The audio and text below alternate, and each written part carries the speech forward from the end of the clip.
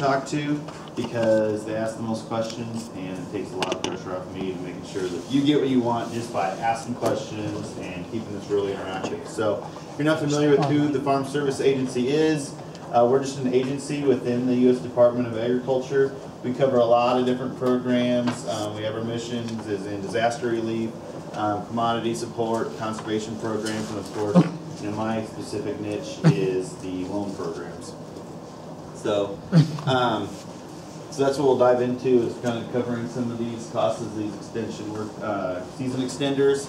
So, um, where we fill in a role is, uh, we provide credit if you're unable to obtain commercial credit. So, which is common, uh, startup operations, beginning farmers, things like that. Um, so it might not be that you're, um, it might just be a collateral issue and not a cash flow issue. It might be a tight cash flow margin issue. It might be a commercial industry is unfamiliar with your uh, with your product and they're just not willing to venture into there. So that's where we kind of fill the void. Fill the void. Um, that's where Farm Service Agency comes and fills the void. is, is a government-run program. Um, and we have, and if you have questions for us, we have, how we're set up is I'm the state office in Lincoln, and we have a series of some specialists there, and we kind of run the administrative operations for the loan department. But out of, I think there's ninety-three counties in Nebraska, we have seventy-one FSA offices throughout the state, so we're everywhere. That's one of our biggest advantages, we have a, a rural footprint. And, uh, out of those seventy-one offices, we have twenty-three farm loan staff. So farm loan staff may cover three, five, seven counties, depending on where you're at geographically in the state. But, so you might not be having one, a farm loan team specifically in your county, but you'll have a team that serves your county. So just quick, quick overview. So I said, I mentioned that I do direct loans. So when we're talking about direct loans, simply means you work directly with us. You work directly with the farm service agency. You're going into your local office and you're getting loans there. So farm operating loans, um, that's your loans for if you're doing breeding livestock, and equipment, also your input expenses, those type of loans. Um, a subset of that is youth loans, so if you're ten to twenty years old, we can make you a five thousand dollar or less youth loan. And microloans, which I'll dive a lot more into because that loan program was specifically designed for specialty local producers to kind of get through some of the paperwork burden of the larger commodity type operations and, and make our programs more accessible to those folks. Um, the farm ownership program, we have a series of farm ownership loan programs. Those are specifically to purchase real estate or improve real estate. Um, the regular one, there's a down payment one for beginning um, farmers or um, some targeted or underserved producers, whether they're minorities or women that we're targeting. They can take advantage of that program. Um, joint financing, where we work with a commercial lender to provide financing to purchase real estate. And then just recently, as in within the last ten days or two weeks ago, we've rolled out the direct microloan program. So um, I'll do my best to answer those questions, but I do want to present that to you because that's a brand new program, um, direct uh, microloan to purchase real estate. So we also serve emergency, um, have emergency loans that you can potentially take advantage of. Um, on the guaranteed loan, loans, those are loans that you would actually get through commercial credit, and the Farm Service Agency would guarantee work with the lender to guarantee any loss. So we, we entice the lender to make loans by providing a guarantee on those loans. So in, in that case, the bank or farm credit or something like that would be our, our customer. And uh, a lesser use program, but very much to make sure people are aware of, is the land contract guarantee. So if you're purchasing uh, real estate on land contract, we can either guarantee a percent of loss on to the um, seller, or we can guarantee prompt payment up to two or three years of prompt payment. There's a couple options there to uh, incentivize the seller and kind of provide some protection to the seller and incentivize them to uh, purchase, sell the ground to you. And then the farm storage facility loans and the commodity loans. Um, commodity loans are more uh, a marketing assistance loan, more for conventional uh, commodities. But the farm storage facility loan program is um, basically for storage and handling of very, and it's expanded rapidly into cold storage. Um, as of a couple weeks ago, I think middle of January, we could take um, milk, yogurt, uh, butter, cheese, maple syrup.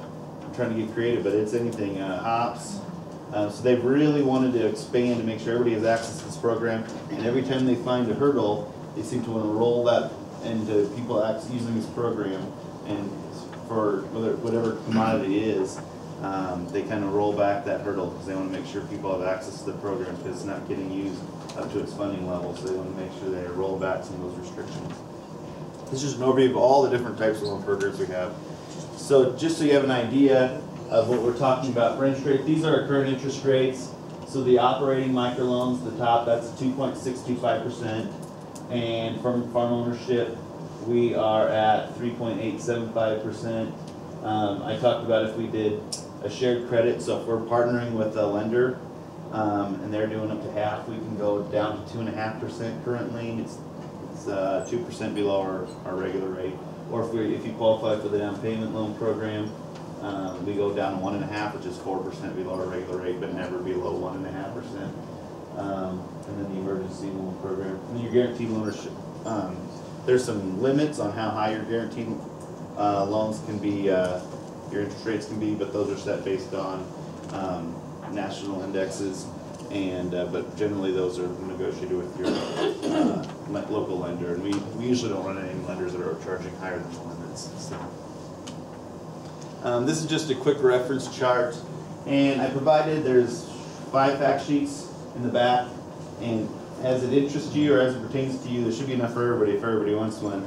There is this kind of information available, but just a quick, the best, most consolidated, um, access to this information is basically through the chart. So if you're talking about a maximum loan type, or the rates and terms, and depending on what type of program you're, uh, you're interested in, this is the easiest way. Um, I'll just highlight a couple. So the farm ownership loan program, maximum, maximum you can get is three hundred thousand. So we can loan three hundred thousand for that. And then same for direct operating is three hundred thousand. So those are two different three hundred thousand plots. So you can have a three hundred thousand dollar farm ownership loan. You can have a three hundred thousand dollar operating. Um, when we're specifically talking about our microloan program, um, that limits to fifty thousand. If you need fifty-one thousand, you just get bumped into the direct operating loan program, and then you have to follow, you know, their application requirements and their security requirements, Those are just a little more stringent than the microloan program.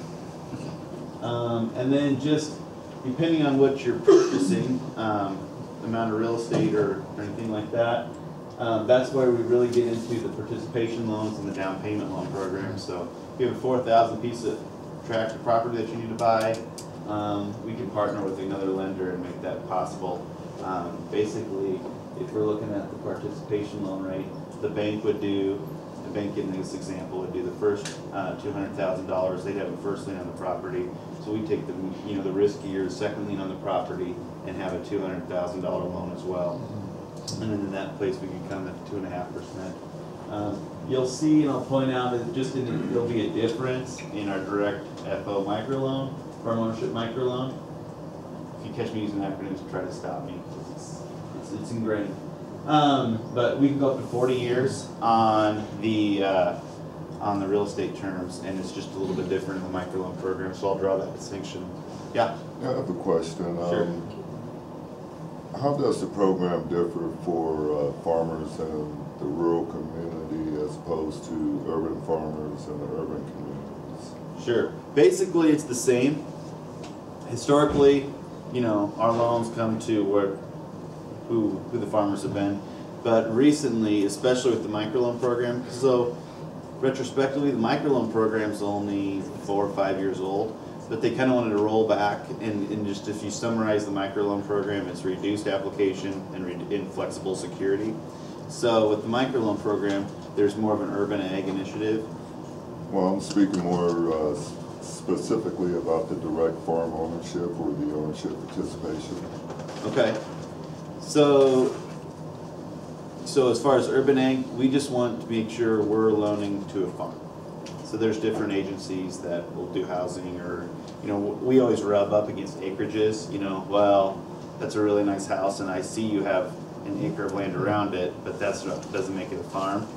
But, so we might have that rub, but if you even wanted to buy a lot, or, you know, and I, and I don't know this, what you're picturing, but urban ag looks different. Everywhere, you know, and everybody's a different example, I but we could loan for a lot if you're gonna farm on it. I just know some of these programs are more directly tied to rural farmers than they are to urban farming, because urban farming is somewhat of a new animal, and the rural farming has always been there, so as these programs have been set up, they've been predominantly set up for the rural farmer. Right. And so as a urban farmer, as I start to exploit some of these different opportunities, I'm wondering if there are roadblocks that I will hit, um, because these programs have been set up, um, historically for rural areas. Right. No, I can, totally- so there's no distinction, um, between, um, you know, a rural farm or an urban farm. There's absolutely no classification of farm. The farm definitions, um, at one point, different programs had like population restrictions. So for example, even up to the last farm bill, maybe farm bill before that, we could do youth loans, but not in communities over fifty thousand population. Those all are gone. Okay. So there should be no distinction, you know, so then it just becomes a matter of, and that, that doesn't mean you won't have to come in and educate us on why you have a farm as opposed to a, a house or an acreage or something like that, and that's the common example we get.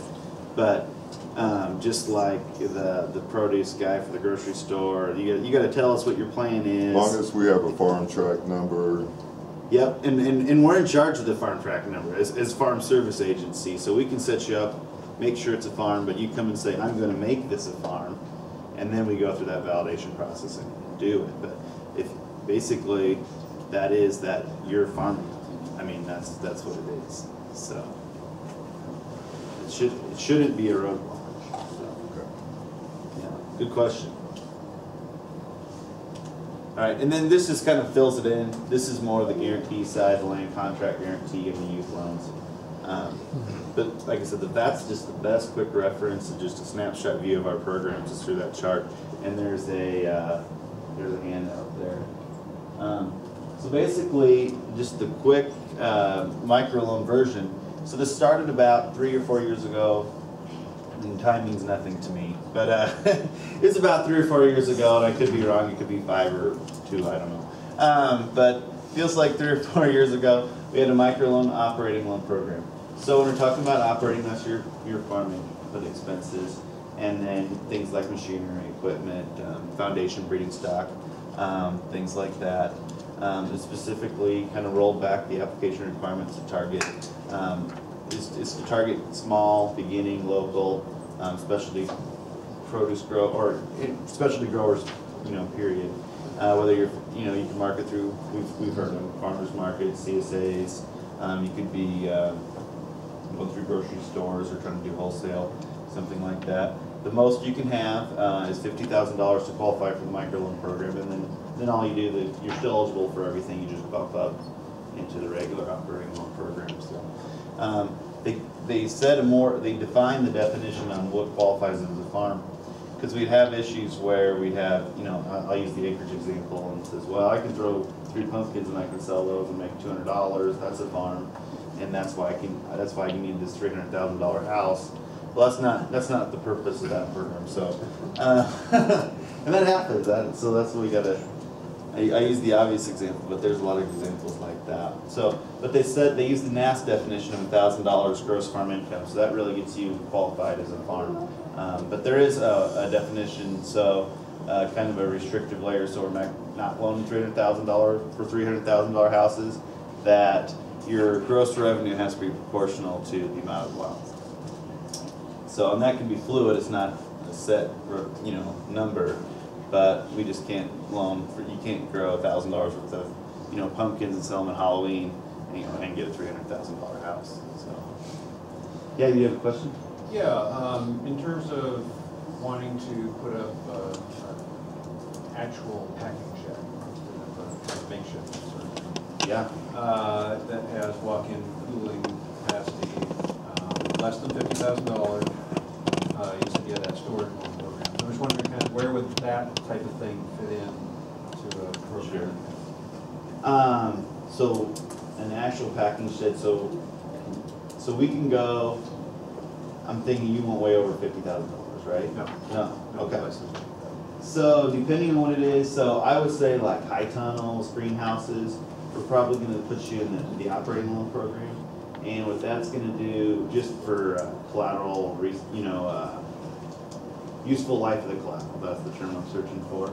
So that's like a seven-year repayment, that's what we're gonna, we're gonna probably gear you towards there. But if you have more of a permanent structure, then you can go into the direct farm ownership microloan program for fifty thousand dollars. And that would have an amortization over twenty-five years.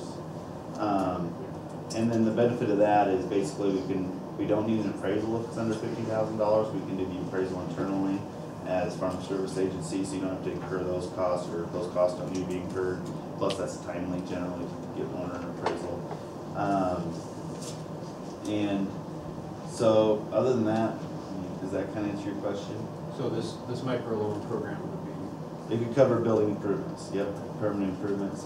Um, a larger structure, and I'll get into it a little bit, um, and you can specifically walk-in coolers, permanent handling. That's where the farm storage facility loan program can help you out. And they're totally different, I mean, they're funded from different sources. Agent, farm service agency covers them both, but, um, the rules are, one, one, one, uh, person writes this rules, and the other person writes the rules for this program, so they're totally different. They have different, you know, quote unquote hoops to jump through, but, um, they're really targeting, um, cold storage producers and, uh, specialty crop producers with the farm storage facility loan program. And so, you know, you can purchase your coolers there, your handling equipment, um, I think I got, and I got a fact sheet on that too. Wash, wash tubs, um, things like that. Um, I can't rip them off all the top of my head. so the, the microloan direct ownership program would cover the structure, and then you'd have to also apply then for the storage. Uh, not necessarily. If you just, if you wanna do, build structure and brand new from scratch, you could go, you could build the structure, coolers, everything in the farm storage facility. But if you thought you'd be better off in the, the farm loan program part, that, um, you could go as much as you can get done there, I guess, as well. Or you could partner. Um, but, but if you, this, the larger structure, building the structure, buying the coolers, handling equipment, um, if you wanted to do all that and just wanna do it in one shop, I'd probably give- send you to the farm storage facility loan program, the FSFL program. That one has a down payment requirement of fifteen percent. So that's maybe, may or may not be cost prohibitive. Um, But if it is, then you probably land over in the farm loan program part. So there's some differences depending on your plan. And, uh, I, I kinda heard, you know, I kinda hear that as a theme too, It's just, a lot of it is, what's your plan, we'll tell you where you fit. And I know that sounds bad, but, but, uh, the best thing to do is come, and this is what I wanna do, and then we'll say, that's great, it might not work here, and then we might have to change one part, or, or we might not change any of it. But, um, but what doesn't sound great when you come in is saying, this is, I wanna do this, how much money can I get? So, we, that, that's, I can tell you, well, we'll loan three hundred thousand dollars, but we don't hand you a check for three hundred thousand dollars and say, this is what it's due, that's not how it works. So, so we just ask that you have a plan and, uh, and go from there. Uh, fulfilling a need, this is, this is mostly just selling the microloan program, so it's who, it's the, the microloan program, um, um, can take the place of high interest credit cards, so if you're fin you know, you're a beginning farmer and you're buying all these initial startup costs, and things like that, you're putting on credit cards, you're, uh, um, you know, kind of taking a hit there, paying all these highest interest rates. It's much better to pay two point six two five percent and, uh, and get a cost break there. Um, transitions our youth loan borrowers into, into regular credit programs. Um, if you have limited experience, we have a bridge. So, um, our typical operating loan program, you have to have participated for one business cycle in the farm operations. You don't necessarily have operated for one business cycle, you have participated, you know, it's like, this way we can help somebody if they have a mentor arrangement, we can help them out with the operating. Um, it's a way to start new businesses and it's a way to get beginning farmers to help them improve the land through season extension. Um, and this just goes into purposes. This is, you know, I, this is some of it's used material, but I, I size here, hoop houses and high tunnels to extend the growing season. Um, we've used that to market since, uh, the market loan program started. So, um, that's, that's one of the big things when it first came out was to, uh, to highlight helping with high tunnels. I did notice on, uh, Hummer's flyer, they had, uh, qualifies for the EQIP program with NRCS, Natural Resource Conservation Service. So, the, the, uh, the operating microloan program is a really good complement to the EQIP program that NRCS, um, provides. So NRCS will provide some cost share for the EQIP program. We come in with our low interest rates and, and cover the rest. So then you get a really low cost way to put up your high tunnel, um, that way, so. So that's just, uh, just an idea, throwing that out there, but that's a way that you can work with two USD agencies, often co-located, so it's still one building. But, uh, if you're not afraid of paperwork, that's a good way to do it. Um, Or, or It's helped a lot of people. What? E- EQIP takes, takes too long to develop, doesn't it?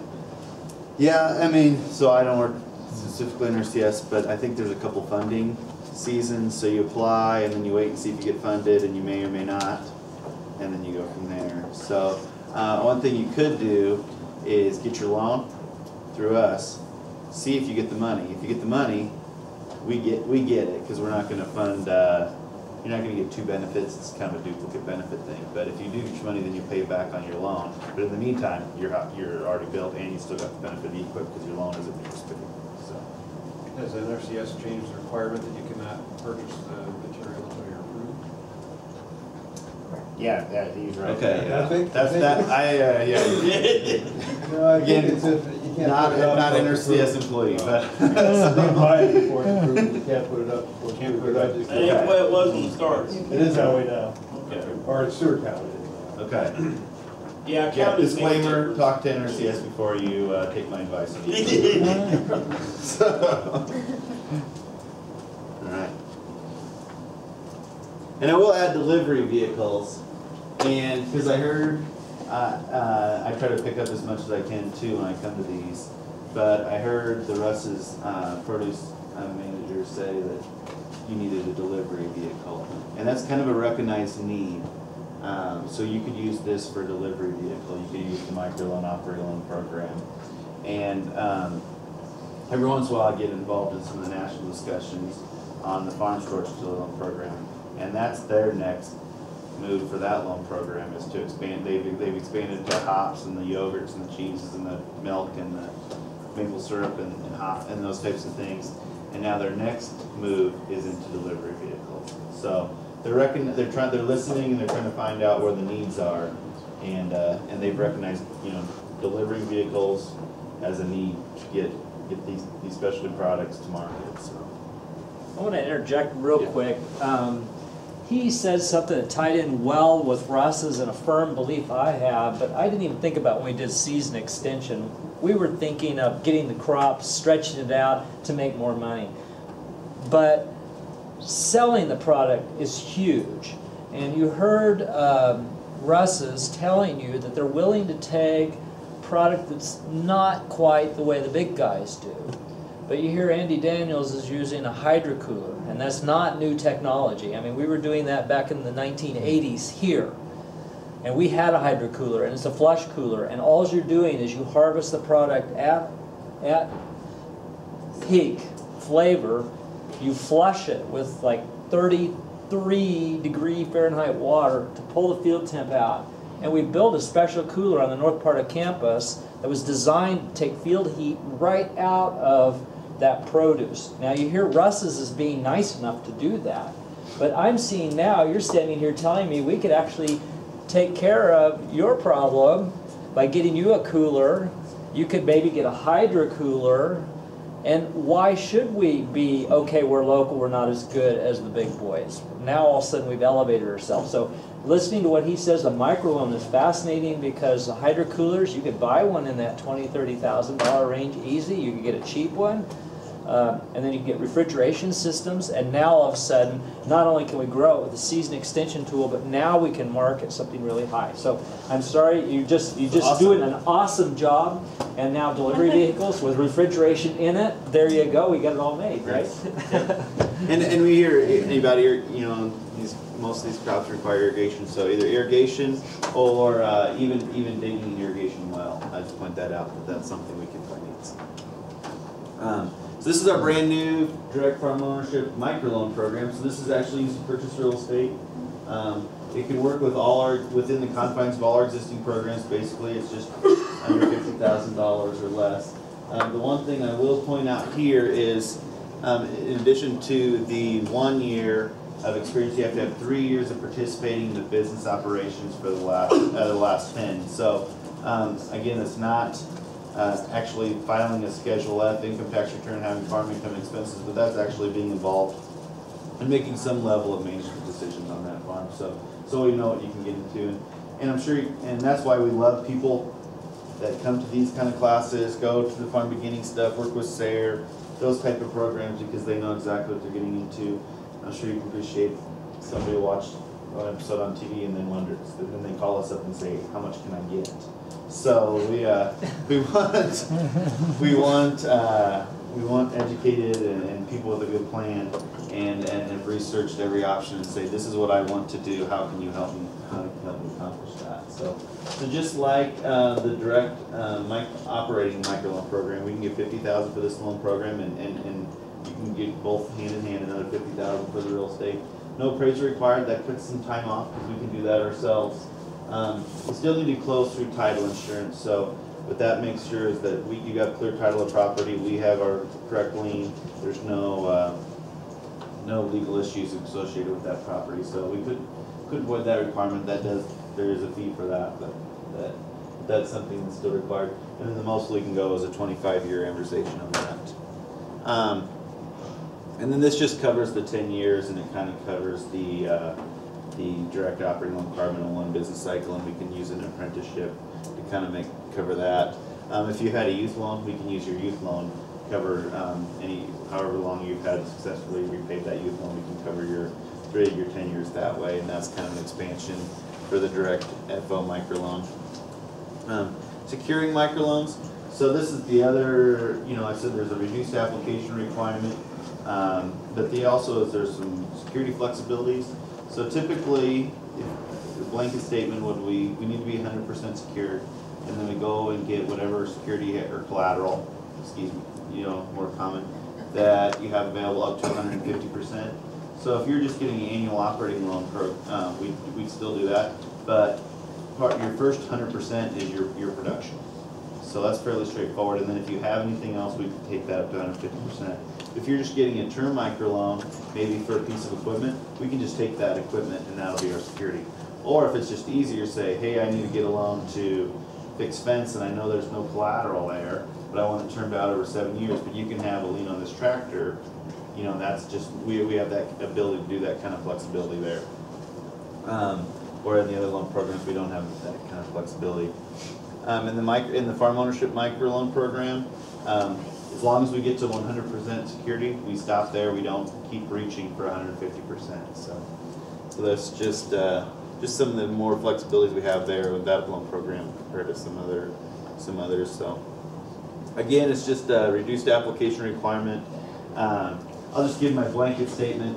Um, so it is government paperwork, but, you know, if, if the, uh, it's probably a quarter or a third of what a regular application was, and I don't think the regular application is that bad. If you filled in, if you have a business plan that says, this is what I plan to grow, these are my income, these are my expenses, um, the rest of what we're trying to get is basically your name and contact information and the authorities to run credit reports and things like that, that's just legalese.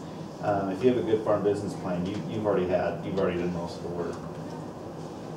Is there, is there a website or a place a, uh, person could go to to research these different opportunities that Yes. are available? Yes, uh, the easiest, you, you know, www.fsa dot USDA dot gov, and then look for farm loan programs, search for farm loan programs in there.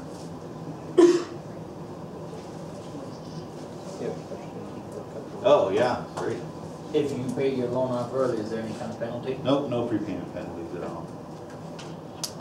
That was your question, Jim? Do they offer these many loans on tree removal, like the cedar problem, the red, uh, the eastern red cedar?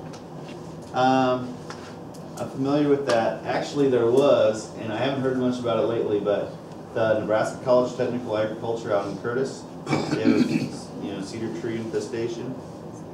Um, we were partnering with some of their students, so we, they could loan for a piece of equipment, usually like a skid loader or something, Yeah. to remove these trees. The rub is they have to use that loader as part of their existing farming operation, because, so we're here to get farmers to get started, started in production agriculture, not run a small business that's ag-related. So there's kind of a distinction there. So if you just got a skid loader to remove trees and you're charging people to remove their trees, that kind of runs out- outside of our program, because it's more of a small That's outside business. But if you have, you use your piece of equipment as part of your farming operation, and to supplement your farming operation, you remove trees, that works. so, Just saying. That guy gets trailer to haul it back and forth, so it's both places, right? So, but as, as always, we can't run afoul of NRCS and your conservation plan for your farm and things like that too, so you wanna make sure you're in compliance with them. Okay, and then, and then I kinda wanna draw a distinction here as we kinda shift into the farm storage facility loan program. And I think this program, even more than when I thought I came in here, has a, has a little more run to it, and this might be, it might hit home with this group a little more. But um, this program, so it's a totally different funding environment, totally different rules, totally different, um, everything except the, but you'll work with the same people. So the distinction here is that you'll have to do fifteen percent down. You come in and you give us quotes on your project. And then before you start anything, and this is, we're very much like NRCS in that regard, and it's even emphasized more and more with the rule changes they've made in the last year. Before you accept delivery materials, before you start any site prep, come in and submit your application and talk to us first. Because before you do any action, and, and I'll write down a site prep and deliver materials, and we've had this happen a lot now, we have to come out there and do an environmental inspection. And if we say, if we, we go out there, you can send it in, and we could go out there that afternoon, and you say, oh, this, this ground has been prepped. And we say, well, you're, not- we can't do an adequate environmental inspection. And that's, that's, that's been handed down to us this last year. So we just wanna make sure that if you got a plan, even if you think, I'm thinking about doing this, I'm not hundred percent sure, come out, quick, do environmental inspection, we can get that out of the way. And once we have the environmental inspection done, then we've got a path to approval, but we wanna make sure we get that done before any actions happen before. Ideally, it'd all be approved and then you start your project. But basically, bring in your quotes, and we can loan up to eighty-five percent of the project, depending on what it is. Um, if it's hundred thousand dollars or less, our, our security is your facility. So if it's between a hundred thousand and two hundred fifty thousand, then, um, or if it's, if it's over a hundred thousand dollars, we need additional security. If it's between a hundred and two fifty, we can go the ten-year term, and if it's, um, above two hundred fifty thousand, then we can go up to a twelve-year term. So kind of, you know, spreading out your costs a little bit. Um, just, I just put the current rate, but it's two point one two five on a seven-year term right now. So comparable rates to what we're offering on the farm loan program side as well. Um, so eligible commodities, um, so our traditional grains, so this, this is the program that puts, if you've probably heard of it, puts up a lot of grain bins. Um, but it also does hay, it, um, oilseeds, peanuts, we don't do a lot of, we we could do re- renewable biomass. But honey, milk, meat, poultry, that was a new one, these are all new, butter, eggs, cheese, yogurt, hops, and many more, I just kinda listed those, but fruits and vegetables, I got those up there at the top, I missed those already, but, um, but, and, and then even, it's even written now, they wrote, wrote it back in the program, that if you think there's something that you should be able to store that's not listed or not eligible at this time, make the request and you can probably have it. So, they really wanna expand the use of this program. Um, so eligible facilities include cold storage facilities, walk-in, uh, prefabricated, permanently installed cold storage coolers, permanently affixed equipment necessary for cold storage, so the, this, historically, it's been permanent, permanently affixed storage and handling equipment. That's why it's, the development part is the delivery vehicle part, because that would not at all be permanently affixed. So that's the line they're crossing when they're trying to get that expanded in this program, but they see the need and they wanna get there, so. Um, this is the one I wanted to get to, but like cold dip tanks, food safety related equipment, sorting bins, ice machines, um, refrigeration systems. Um, trying to picture your, the hydro cooler, but, um, something like that, that's all eligible, um, for cold storage. So, yeah, Can you do multiple loans that sum up to the half million, or is it one time up to a half million? so it's, it's one time per, five hundred thousand per standalone structure. So, we've done, you know, one building here, one building here, you know, so you can have as many five hundred thousand structures you can support. You have to have the storage need for it. Um, that's one of the things that we've really, um, worked, worked on the last two or three years. They have worked on this nationwide, is just, especially for cold storage. It's really straightforward to put a grain bin and say, this is your production, well, you can store up to two years, this is how big a bin you qualify for. And it's really hard when you grow ten different, you know, fruits and vegetable crops and how it works. So they've really rolled that, I wanna say back a little bit, added a lot more flexibilities. Um, if you're generally doing a big, uh, you know, a cooler, like a walk-in cooler structure, we leave room for, you know, to work, the handling area and things like that. Um, it might be an oversimplification, we just gotta make sure when you build your structure, you don't leave room for a basketball floor. You know, that's, that's excessive, that's where we draw the line, we have to scale that back. But, you know, handling, working areas, that's, that's fine, uh, as long as your coolers, so.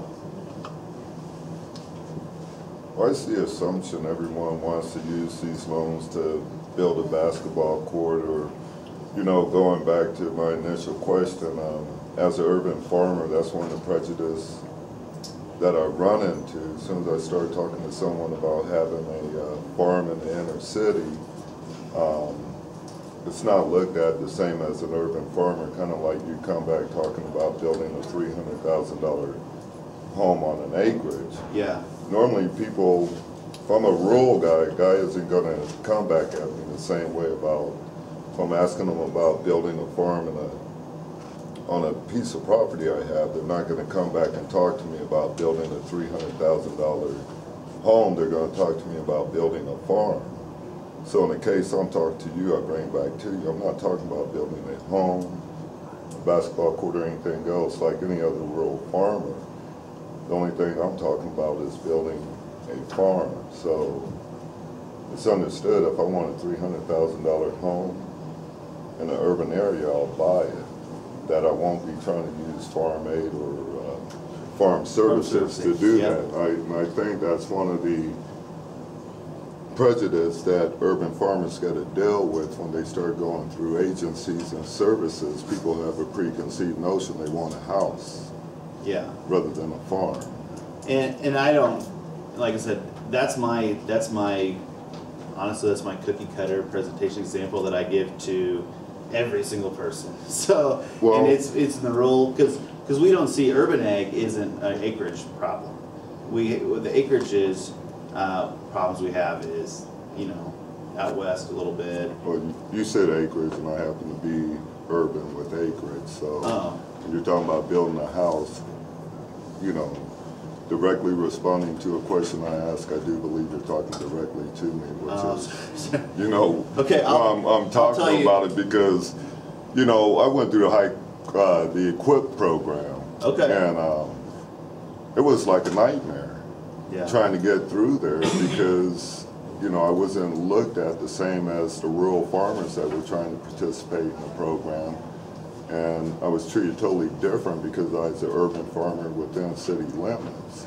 And see, those are some of the stigmas that, Well, you're running into one other problem, which I run into all the time, and is in urban farming, the, the ag farming area doesn't have the zoning issues like the urban farming does. So now we're starting to get legality issues crossing paths, and so that's been a problem, and I know I've interacted with the, the federal, uh, EQIP group, because people wanna put high tunnels in Lincoln, And for a long time, you couldn't do that because they're not permanent structures. And so then they start running into safety and liability reasons, and so then that's where we got these two governments running into. And unfortunately, what Paul's talking about is the same problem I ran into when I bought my acreage. We bought twenty-five acres and we wanted to put a greenhouse business and ag production on, but they wanted to charge my taxes for residential. And it took me uh, 17 years to finally get a green belt exemption on, and we separated the land, 17 years. So I feel your pain and I, I feel bad for it, but yeah, anytime you have somebody that messes it up for everybody else, you and I and Well, everybody. this, I mean, yeah, this isn't even, Yeah, this isn't even dealing with the um, intergovernmental issues that you're Yeah. um, communicating. This is just dealing the with papers. farm service agents or NRCS and just being looked at differently because this is a farm in the urban Yeah. area and that's just not something that's traditional. So this is a great point he's making, and just make sure that everybody's on board, and you have university, you have uh, Casey, and you have all of us, and that's one thing we ran into when greenhouses first came to the Lincoln area, was if you see a few like Finke Gardens, if you ever go out there, you'll see bows on their greenhouse at two-foot increments. Before, we were able to educate city of Lincoln that you don't need a structure that's gonna put a Sherman tank on top of it, you know? They just were more worried about the issues of it blowing away. So, um, unfortunately, the pain you're going through is something that everybody has to work together in order to educate. And unfortunately, you're gonna be a pioneer in, Oh, I have yeah, no problem so, with okay. So, Yeah. anyway, let's go on and finish up here Yep. and then. No, and, and I will, and one of the initiatives that's going on uh, is that there's, it's called a Bridges to Opportunity, and it's kind of a pilot program, it's piloted in five states. Um, Nebraska's just getting started, and we're piloting in the southwest part. Um, but one thing we've learned, and I mentioned that I work, I, my contact with Casey with the Nebraska Beginning Farmer Network, um, the farm loan program specifically, and I, and, and, and I hope you won't counter this, but if you do, feel free to call me.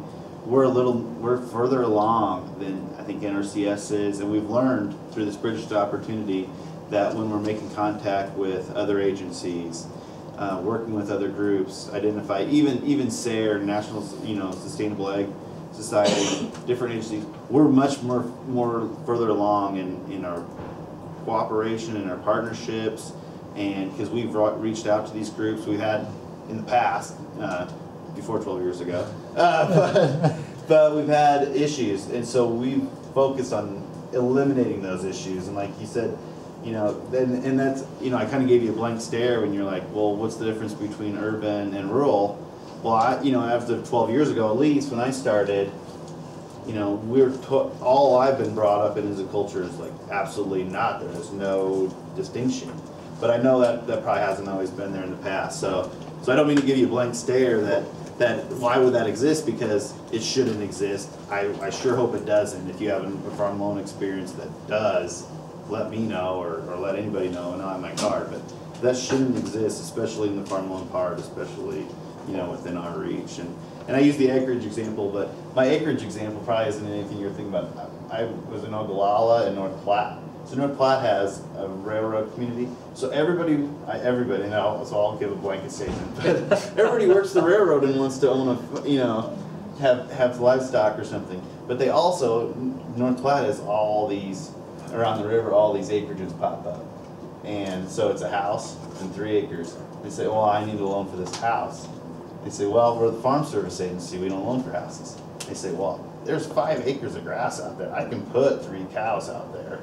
You know, that's, that's my experience, and that's the only rub, and I, and I only do, and I, I present it that way, and it's not that we're here to have barriers, and I'm not doing a very good job of marketing, because my job is to get you guys into the office and then find out what works or not. But I just kinda wanna draw, this is, this is the other side of the line, and this is the good side of the line, and this is what doesn't work, you know, so you know kind of where the line is. So that's why I give the basketball hoop example or the acreage example. The big one we have with the farm storage facility loan program is machine shed, right?